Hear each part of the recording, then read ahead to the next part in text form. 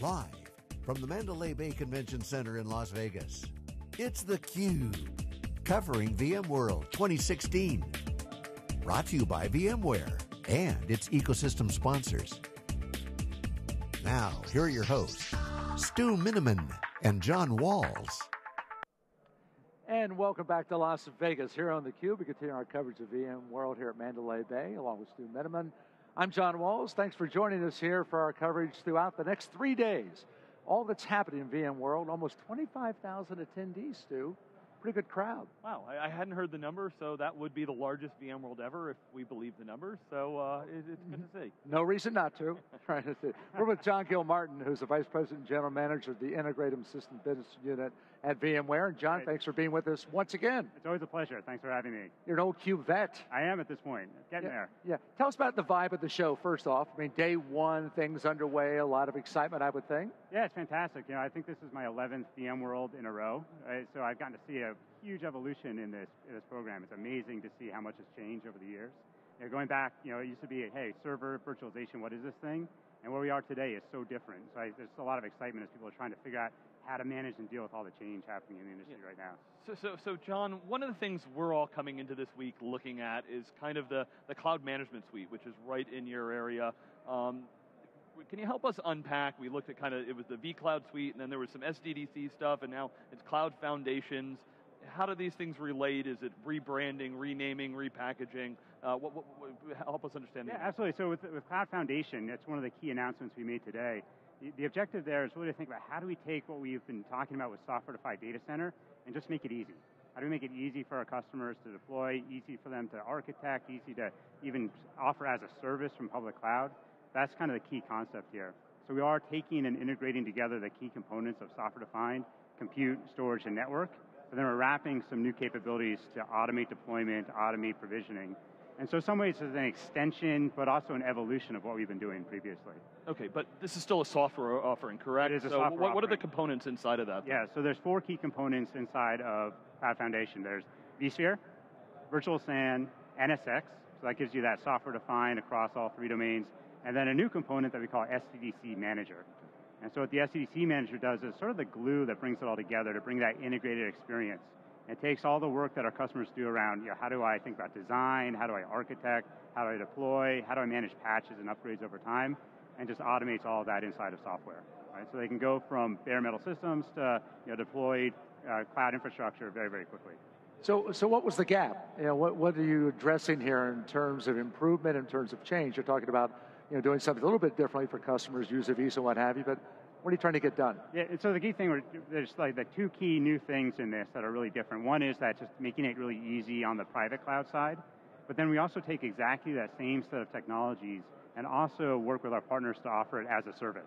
And that's also the really new thing that we're doing today. So we had an announcement today with IBM as part of their IBM Cloud. They're offering Cloud Foundation as a service, which means customers can go to a portal and provision out capacity based upon 100% consistent infrastructure.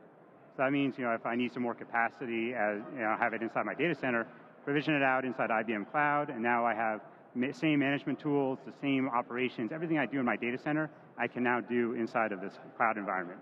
And we'll extend that out to other partners in the future. We'll extend that out into vCloud Air next quarter. So this is really a great way for customers to start extending or migrating into the cloud but do it based upon without having to re-architect their applications or fundamentally change how they operate. Yeah, so we've been argue, we've been trying to figure out this hybrid cloud thing for the last few years, and there's many companies that are saying, okay, here's the software stack, and you can put it in your own data center, or you can put it in, in some kind of public cloud environment. We see IBM does that some, uh, we see Oracle do that. Uh, Microsoft, of course, has Azure, and Azure Stack's coming sometime in the next year. Right. So is this VMware's answer to say, okay, in the data center where you know and love vSphere, this is a full set, and then you can put it in IBM SoftLayer or a bunch of other service providers? It, it, yeah, so it is that concept of a, you know, a consistent stack. Yeah, the same stack inside the data center, exactly the same stack outside the data center. So it is 100% consistent, right? And that's kind of what's really attractive about that. And then as customers think about, well, what are the management tools or the cloud management platform that I run, run on top of that? That can extend very seamlessly now across multiple environments. Okay, what about the interconnection between different locations? How does that work? So uh, the interconnections, we can take advantage of NSX and what it does around stretch, stretching networking across environments. It gives a very powerful capability to really think about it really as a seamless extension of the data center.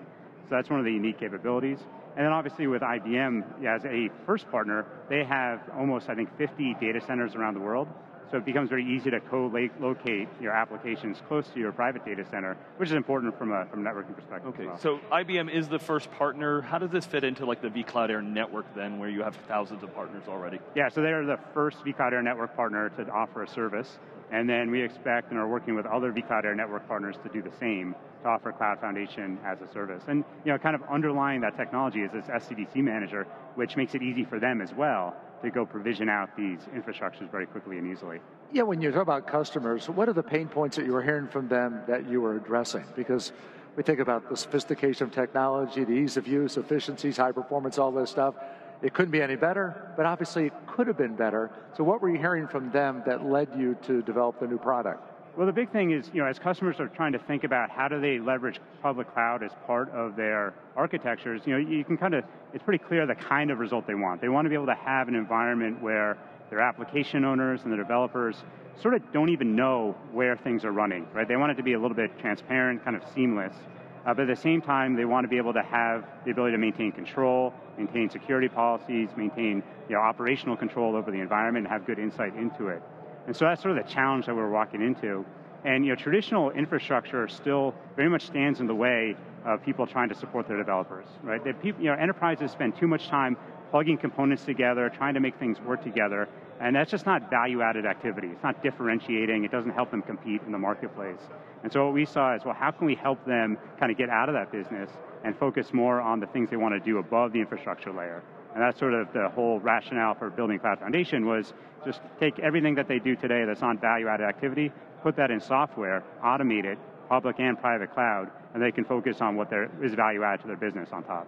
Yeah, one, one of the challenges we've been facing in this transformation is kind of the go-to-market. If I think about traditionally vSphere, you, had a, you know, VMware's got a great channel partnership. You had lots of OEMs in the early days, and now, I mean, just a huge amount of channel partners that know how to sell it, know how to make money. Cloud is a big shift for them. Yes. There, there's only a small percentage of the channel that kind of understands this with IBM kind of as a first partner, how do you see this playing out with kind of traditional channel partners, service providers, and, and, and the whole go-to-market? Yeah, as you point out, it's clearly an evolving story, right? And, and different partners are kind of thinking about it in different ways. You know, there's still, you know, definitely an on-premise opportunity that you know, they're going after, but clearly having a good cloud strategy is going to be important for every you know, reseller out there and every partner. And some of that is going to be thinking about what are the kind of services that you can offer your customers to help them make that transition. You know, if you think about, you know, if I want to extend my data center, I need to migrate workloads or re-architect workloads. Those types of services I think are going to be critical to become experts in and to help you know, customers really think about their long-term strategy. You know, fact is, you know, customers are going to move more and more of their workloads into clouds of some type over the next few years, and they're going to need help and you know, advice and guidance and, and migration services to get there. So there's real business to go be built around those, those types of opportunities. Okay, C can you give us a little bit of what should we be looking for going forward? You know, have, have there customers that are running this stack already before it was called this? And, and how do we, how can we benchmark to say whether or not you're successful by the time we come back next year? Yeah, that's a, a good question, yeah. uh, Stu. It's so, a tough question it's, too, by yeah, the no, way. it's a little challenge question. Leave it to Stu, right? so no, no, it's a great question. We, so this uh, software is going to be available uh, later this week. So it's actually generally available on September 1st.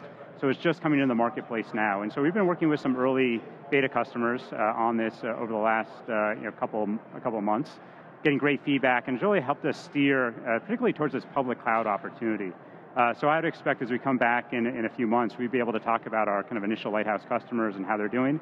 But we see just huge interest in this right now, right? You know, customers want to move and companies want to move away from kind of plugging things together. They want to move away from individual components, and they really are looking to buy in more integrated ways. And this is kind of a key enabling technology to help them do that, and we can do that also with our partners as well. Yeah, um, one of the big challenges we've had is everybody's always like, okay, but my needs are a little bit different. So we understand that if we can eliminate diversity of the environments. You know, homogeneity is good. I can repeat it, I understand it, but everybody, oh, that, you know, that's the, the, the problem with IT is they always want to tweak it. So what do you do when they say, oh, you know, vSAN's great, but you know, you've got all these ecosystem par partners in storage. I, I kind of want this storage. And NSX, I, I, understand some pieces. Maybe I want OVS, but I, I want to deal some other pieces. What do you do for customers that want to kind of go outside of this initial package? What kind of choice and options do they have? Yeah, you know, it's a, uh, so just like vSphere, you know, vSphere has sort of been the universal platform for running virtual machines and has a lot of those connections into different things. So Cloud Foundation fundamentally is based on vSphere. So for, let take storage for example, you know, vSphere can connect to external storage, so we can connect to external storage. And on ro our roadmap for uh, the automation software inside, we'll look at how we can take advantage of external storage and some of these things as well. So as, you know, as we talk to customers and we, as we learn those areas that are consistent across many, we can start to bring some of those things into the equation as well. You know, this gives us a very powerful starting point, and then we can look at what are the right connections out into the, the ecosystem from there. And do you still have folks who are trying to hang on? You know, say, I, I understand what you're doing, I understand it's a new service, I have a new opportunity here, but I'm not ready to cut the cord all the way. And how do you bring them along to showing them there are new efficiencies here and there's a better bottom line benefit to you? Well, I, think you know the history of IT is a history of things remaining, right? So you still have AIX, we still have mainframes.